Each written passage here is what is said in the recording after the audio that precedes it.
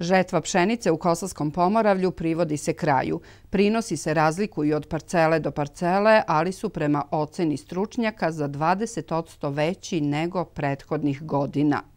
Svi poljoprijedni proizvođači baš mogu da se pohvale prinosom i to ne samo visinom prinosa, nego i kvalitetom zrna.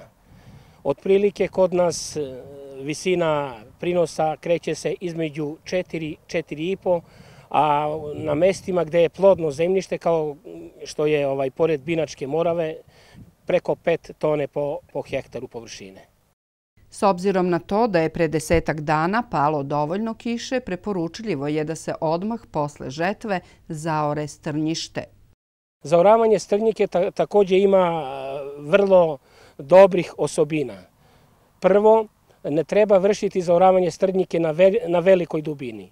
To je otprilike dubina 12 do 15 cm i zato se često puta u poljoprijednoj terminologiji koristi pojam ljuštenje strnjike.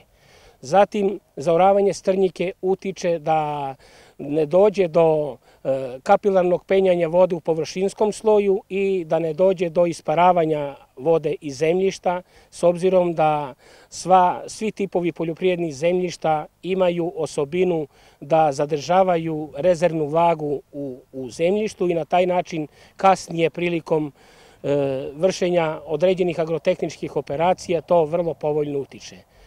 S druge strane, napomenuo sam da s obzirom da je sve, minje, sve manje stočnog fonda, da je da strnjika koja se zaore dođe isto kao kad džubrimo zemljište.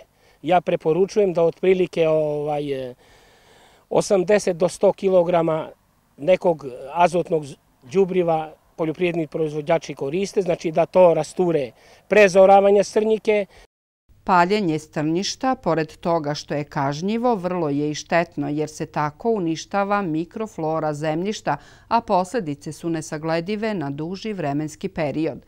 Zato stručnjaci svake godine apeluju na ratare da ne pale nego da zaoravaju strnjišta.